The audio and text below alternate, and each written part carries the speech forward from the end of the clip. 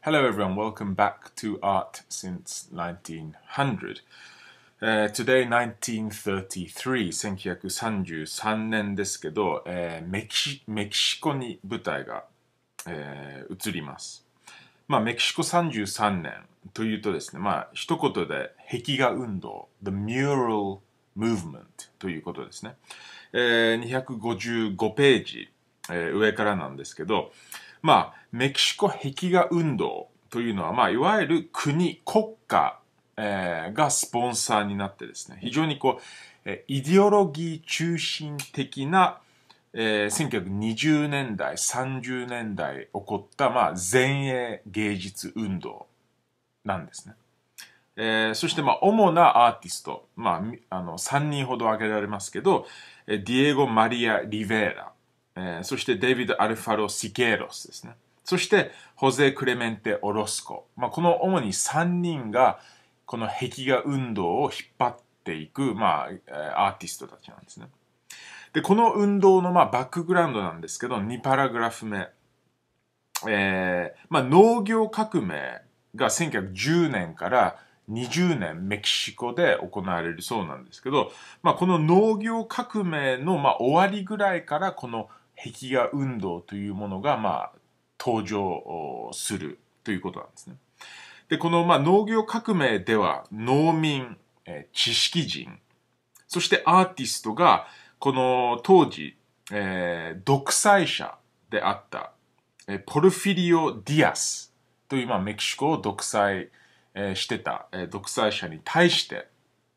えーまあ、この戦いがあったんですね。えー、ディアスと共に、まあ、巨大な、まあ、地主たち、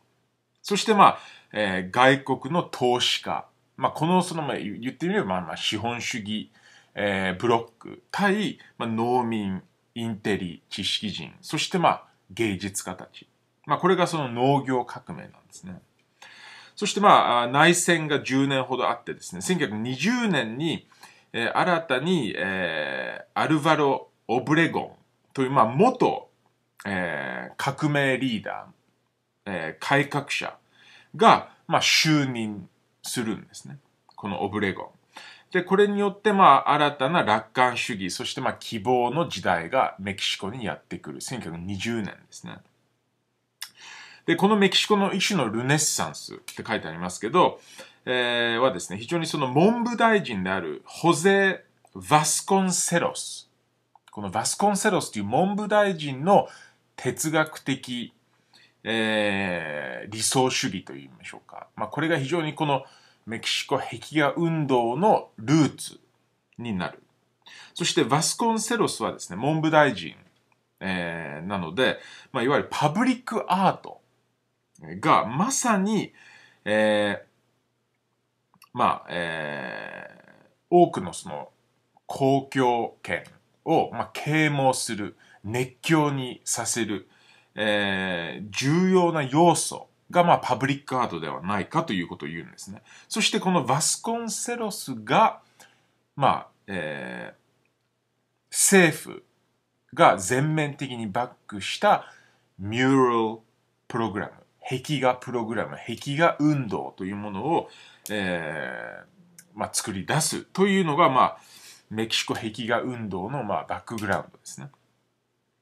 まあ、と、右コラムについたいんですけど、えー、バスコンセロスは別にそのどういうスタイル、どういう主題で書くかっていうものは、まあ、一切規定しないんですね。しかし、ほとんどの壁画を描く芸術家たちは、えー、まあ、国をちょっと思い浮かぶ、えー、社会主義リアリズムという、まあ、スタイルに、えー、まあ、なんとなくこう、えー、似ていくというものが、まあ、現実としてあるそうですね。と同時に、えー、プリヒスパニックアートフォーム、いわゆる、えー、スペインの植民地主義以前の、えー、メキシコという、まあ、チリで行われてきた、え、プレヒスパニックの様々な芸術形式、フォルムも非常に重要な、え、インスピレーションである。ということですね。そして、まあ、メキシコの英雄、そして市民を主に描くというものが、まあ、壁画運動になっていくんですね。と言ってもですね、まあ、上の方ですけど、えー、ヨーロッパで行われているモダニズム、前衛モダニズム、まあ、絵画運動、彫刻運動、えー、との関わりも持つんですね、このメキシコ壁画運動は。非常にその、この、えー、前衛ヨーロッパで行われて行われているモダニズムと同時に非常にそのある意味ではトラディショナルな、えー、モダン以前のものも、えー、引っ張ってくる壁画運動のの、まあ、特徴ですね。さらに、まあ、ポイントはですね、これはほとんど読み書きができない、えー、オーディエンスに向けて、えー、まあ、いろんなそのイメージ、作品を書くというものが、まあ、この壁画運動なんですね。えー、この運動に対して、まあ、何人かのその非常に尊敬されていた、えー、まあ、先駆的なアーティストがいたそうですね。画家のフランシスコ・えー、ゴイティア、例えば。もしくは、えー、まあ、似顔絵風刺を描いていた、まあ、彫刻家のホゼ・グアダルペ・ポサーダとかね。でこういう、えー、先駆的なアーティストたちは非常にその壁画運動家たちに対して重要なインスピレーションであった。メキシコの中で実はその、えー、前からやっていた人たちなんですね。えー、と、まあ、特にその、まあ、政治的なメッセージであったり、えー、まあ、アンチコロニアリズム、反、えー、植民地主義的なスタンスを強く持って、それを、まあ、書いてた作家たちなんですね。で、こういうメキシコの、えー、影響、インフルエンスに対してですね、プラス、イタリアのルネッサンス絵画、そして先ほど出たヨーロッパモダニズム、キュビズム、未来派、えー、ドイツ表現主義、ポスト、えー、印象派であったり、シュールレアリズムであったり、プラスそこにイデオロギー的な層としてマルクスとレーレーニンが、まあ、こう層として入ってくるんですね。次行きましょう。256ページの方ですけど、そして1920年にですね、このまあ、えー、文部大臣であるバスコンセラスが、まあ当時メキシコ大学の学長も務めているそうで、えー、この壁画運動のアーティストの一人のリベーラをですね、まあイタリアに行きなさいと、ルネッサンス美術をまあそこで見てきなさいということで、まあ、えー、送るんですね。リベーラを。そこでリベーラは、ジオット、ウッチェロ、マテンニャ、ピエロ・デラ・フランチェスカのミケランジェロ、の、まあ、この非常にこう巨大なスケール感を持ったイタリアのルネッサンス宗教絵画を、まあ、見るんですね。で、この人々を啓蒙する力に圧倒されて、非常にそのやっぱり、えー、読み書きができない対象に対して、このイタリアルネッサンス絵画の強さ、凄さ、大きさに圧倒されると。そしてバスコンセラスの、まあ、この壁画運動はですね、実は1921年に開始するという、えー、運動なんですね。リベーラはイタリアからメキシコに戻ります。そして21年に、えー、もう一人のアーティストのシケーロスがですね、えー、ヴィダ・アメリカーナという、まあ、唯一えー、壁画運動の中でできた雑誌の中で Manifesto to the Artists of America アメリカのアーティストに対しての、まあ、マニフェスト宣言という、まあ、重要な、えー、宣言を出すんですね。21年に。で、その中ではですね、メキシコで行われる壁画運動の特徴、まさにモニュメンタルで英雄的な芸術を目指すべきである。えー、人間的で、えー、公共的なアート、パブリックなアートであるべきだ。そして我々の、えー、偉大なこう巨匠たちをちゃんと尊敬しつつ、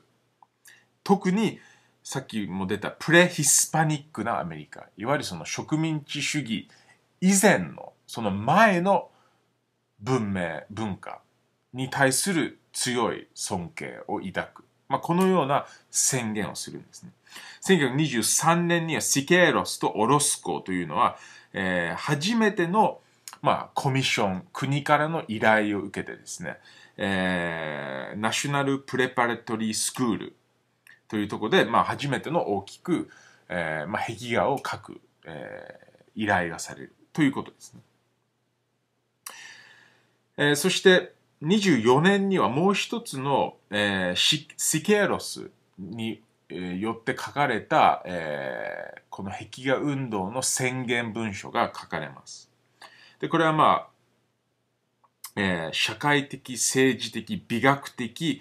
原則の宣言というタイトルで、えー、シケーロスが書きます。まあ、ここでは、あの、イタリック調で書いてあるんですけど、例えばもう、 easel painting、canvas painting というものに対して強く、まあ、非難、批判するんですね。もういらないと。なぜかというと、もう aristocratic。貴族的である。うん、我々は逆に monumental な芸術を求めている。なぜかというと、 monumental、巨大なスケール感があるものは公共的な要素が強い。公共性があるから。 public property である。そうですね。こういう、その、個人の、えー、まあ、所有のための芸術ではなくて、今の、えー、芸術が、えー、まあ、向かうべきとこはですね、まあ、えー、全ての市民のため、啓蒙的知識をこう、伝える道具としてって言ってもいいと思うんですね。そういうパブリックなアートを目指す。まあ、非常にこう強い宣言が1924年ですよ、これはね。で、ここで、あの、壁画運動の、まあ、イデオロギー的な、えー、公共的な、まあ、方向性が定まっていくということですね。下の方ですけど、えー、3人のこの芸術家たちの作品の特徴、リベーラは非常にその、まあ、えー、多くの、えー、人たちが、えー、相当その、まあ、えーイベいろんなそのイベントって書いてありますけど、いろんなそのまあ、えー、ことを実際にやってる、えー、シーンですね。を、まあ、あの、描く、えー、そういうコンポジションを作るんですね。中には伝統的な主題もあれば、近代的な主題もある。そして、まあ、どっちかといえば、その見るオーディエンスにとって、まあ、自尊心、プライドですね。自尊心をアップするような効果をリベーラは、えーまあ、求めていた。うん、非常にまあ単純化されたフォルムですね。そしてまあ最も野心的なものとして、えーまあ、ナショナルパレスに、えー、1929年から始められたメキシコ史 History of Mexico これはまあ巨大作品なんですね。えーまあ、彼が亡くなった時にはまだ完成してなかった非常に巨大なメキシコの膨大な歴史をやっぱりプレヒスパニックな時代から植民地主義以前の時代からずっと近代の時代まで、まあ、絵でこう描く。えー、右からのシケーロスは非常に逆に実験的な、えー、作品を作ってた、えー。方法や素材も実験的に使われてた。非常にそう強いダイナミックな壁画を描いていくのがシケーロスですね、特徴として。そしてシュールリアリズムの要素が、えー、相当強く、えー、彼の絵に入ってくるんですね。例えば無数視点、えー、マルティプルパースペクティブ、無数の視点から物事を描いたり、歪みを絵に入れたり、えー、非常に強い色彩を使ったり、そしてリアリズムとファンタジーをこう、まあ、融合するような構成、えー、で書いているのが、まあ、シケロス。最後にオロスコはですね、どっちかといえばその表現主義、えー、の影響というか、非常にその人間の苦悩ですね、suffering を、まあ、ちょっとその暗くというか、表現主義的に描く、えーまあ、社会主義リアリズム、ソーシャルリアリズム、非常に、えー、強い、えー、リアリズムの絵を、まあ、描いていくのが、まあ、オロスコなんですね。そして次のセクションは、このメキシコ壁画運動とアメリカ、まあ、北アメリカの関係なんですね。United States。まあ、非常にやっぱり、えー、1920年代の半ばから新聞や雑誌に紹介され、えー、USA ではもう注目され始めてるんですね。この特にこの3人のアーティストたちは。そして、えー、やがて、えー、3人は、えー、アメリカの方ではその、えー、作品のコミッション、依頼が、えー、される、えー、ことにもなっていくんですね。258に行きたいんですけど、えー、最もリベーラの作品はアメリカでは、えー、注目されるそうなんですね。1931年の12月にはリベーラは、ニューヨークの近代美術館通常モマでですね、えー、回顧展を開くんですね。この回顧展は実はその第1号のモマの回顧展はマティス。そしてマティスに、えー、次ですね、もう本当第セカンドのモマの開いた個展は実はメキシコのリベーラなんですね。そのぐらいやっぱりその影響力があった。非常にこれは批評的にも、えー、一般のお客さん的にも大成功であって5万7千人の方がこの展覧会に来たそうですね。モマにメキシコの壁画運動を見た。そしてリベーラはですね、アメリカに来て、現代のアメリカの、えーまあ、シーン、社会も壁画の中に描き始める。例えばデトロイトの産業を描く。そしてそういう作品がさらに、えー、アメリカの、まあ、いわゆるリージュナリストと呼ばれるような絵画運動、トマス・ハート・ベントンとか、えー、社会主義リアリズム、えー、非常にこう社会問題、政治問題を強く描いたベン・シャーンのようなアーティストたちにリベーラは非常に大きい影響を、えー、与えたということですね。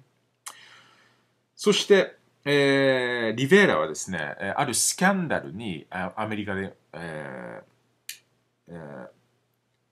参加する。参加っていうか、まあ、あなるんですね。1932年の10月にですね、あのロックフェラー、えー、家族、ロックフェラーからですね、ロックフェラーセンターニューヨークを、まあ、当時、えまあ、作ってる時に、そのロビーの、ロックフェラーセンターのロビーの、まあ、大きい壁面に壁画を描いてくれと依頼が来ます。リベーラに。そしてそこで、えー、1933年の3月にリベーラは、えー、まあ、交差点に立つ男、希望を持ってより良い未来へという、まあ、長いタイトルの作品を書き始めます。そして4月ぐらいに確かにこの壁画の、えー、一部にですね、ソビエトロシアのレーニンに非常に似たような顔をした人物が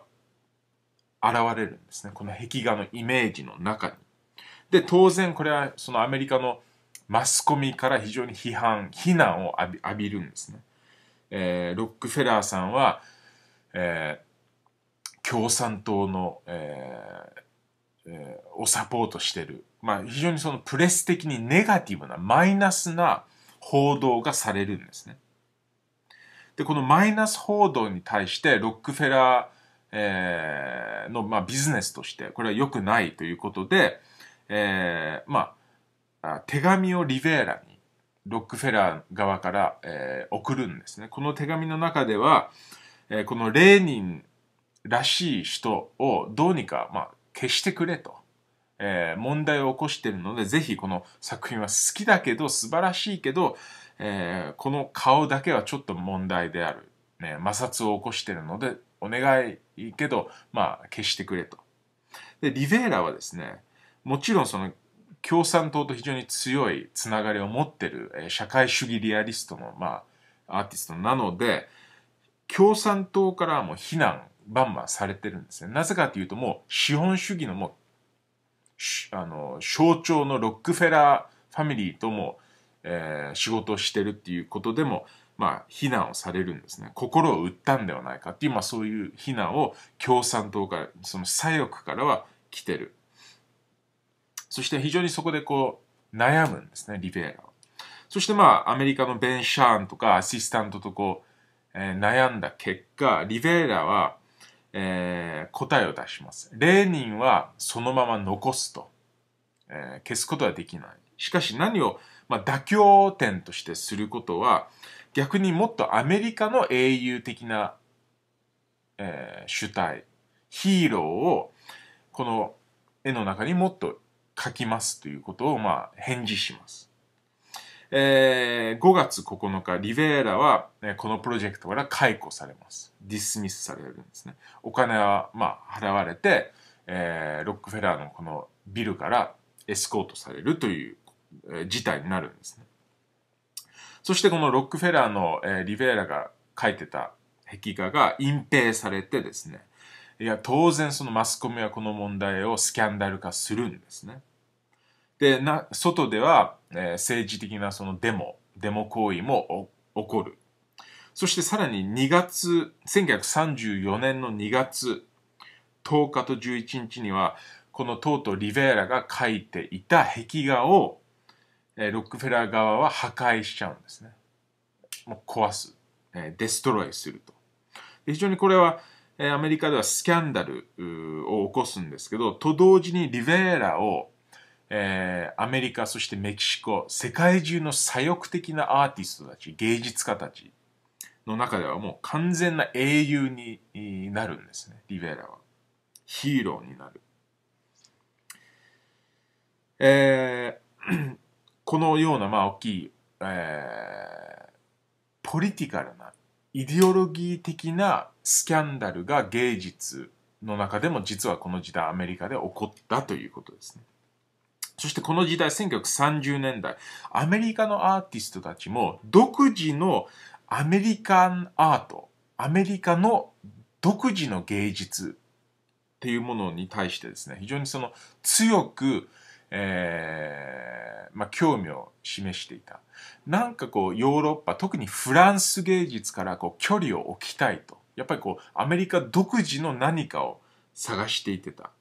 えー、メキシコで起こったようなアメリカの独自のその、え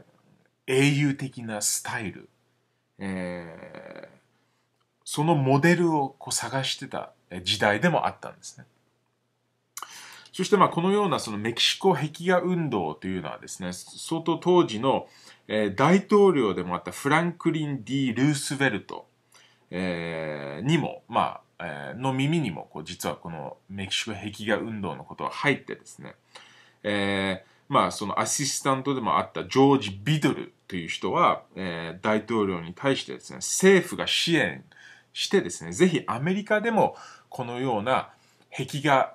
芸術プログラムをぜひしましょうよ。非常にその効果的であると思いますという手紙も書いてるんですね。59ページの、まあ、イタリック調のとこが、このビドルがルースフェルト大統領に書いた手紙の内容ですね。えー、結果としては、その、やっぱりロックフェラースキャンダルがあったので、ルースフェルト大統領としてはちょっとこう、距離を置くんですけど、えー、最終的にその、ニューディール文化政策っていうものには、この壁画運動の影響が、えー、ある、あったということもありますよね。えー、とにかくこのメキシコのその big three artist、壁画アーティスト、リベーラ、シケロス、オロスコっていうのは、非常に、えー、強いアメリカにとってその新たな公共性を持った、えー、まあ、えー、国を挙げた前衛芸術運動の強い事例になるんですね。モデルになっていく。で、さらにこの事例というのは批評性もある。えー、風刺性もある。すごいインスピレーションも湧き出す。えー、その、まあ、非常にその物事を歴史とか、えー、国家っていうものをみんなでこうセレブレーションするような芸術でもあった。そして非常にその批評家の中でもパトロンコレクターの中でももちろんその一般の市民の中でも非常に実はポピュラーな、えー、人気な、えー、芸術運動であった。まあ言ってみれば分かりやすいというかね巨大であった、えー、ずっとあの、ね、イタリア・ルネッサンスから得たリベーラも言ってましたように、えー、読み書きができない人のためにというね、えベースもある。そして、あの、締めのパラグラフグラフですけど、えー、このメキシコ壁画運動の影響というのは、えー、まあ、様々世界の中で、えー、い、未だに起こってる、えー、政治、社会問題を扱う芸術運動に大きな影響を、まあ、与えたということですね。えー、political issue driven art とここには書いてあるんですね。最後のパラグラフ。そして、まあ、えー、もしくはアイデンティティ問題を、えー、主題扱う芸術家たちにとっても壁画運動は非常に大きいキーポイント。アメリカで起こった1960年代の終わりから70年代のコミュニティミューラルムーブメント、まあ、コミュニティの中で壁画をこう、まあ、一種のそのグラフィティのこう、えー、先駆的な運動だと思うんですけど、えー、コミュニティの歴史とか、えー、このある場所で起こった事件とかを、まあ、壁にコミュニティのために描く、えー、壁画運動、アメリカで起こったにも直接影響がある。そして、これはまあ南米の様々な国、独裁政権が多いですよね。例えばアルゼンチン、ボリビア、ペルー。こういうとこで起こる壁画運動、政治性を持った、えー、批判的な壁画運動にも当然メキシコから影響がある。そしてさらに、えー、もっと最近になるとですね、ポストコロニアル、えー、植民地主義時代の後の特にアフリカの様々な国で展開されてきた、えー、都市のコミュニティ壁画運動にも大きな影響が、えー、あるんではないかということで、1933年、えー、メキシコ壁画運動は、えー、終わるんですね。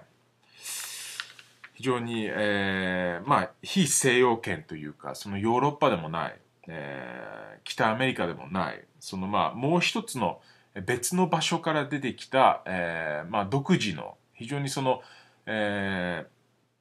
ー、批評性を持った社会とこうつながりを持とうとした芸術運動そしてもちろんヨーロッパで起こってるモダニズムとも、えー、関係を持ちつつなんかローカルな、えー、伝統というかローカルなそのレガシー遺産も大事にしようとする。まあ非常にそのいまだに影響を持っているメキシコ壁画運動だと思います。Okay, so this is about it for now, and I'll see you next year. Bye bye.